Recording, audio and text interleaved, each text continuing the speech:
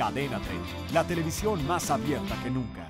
Los maestros no dan tregua, aún con el anuncio de regresar a las aulas el próximo lunes 14 de octubre. Más de 4.000 docentes de Guerrero llegaron a la Ciudad de México para reforzar el plantón de los integrantes de la coordinadora que permanece en el Monumento a la Revolución. Marcharon desde la estación del metro Tasqueña y a lo largo de la calzada de Tlalpan. Otro contingente se les unió a la altura de la estación Viaducto. Las vialidades afectadas fueron, entre otras, el eje central Lázaro Cárdenas, Izazaga y Avenida Juárez.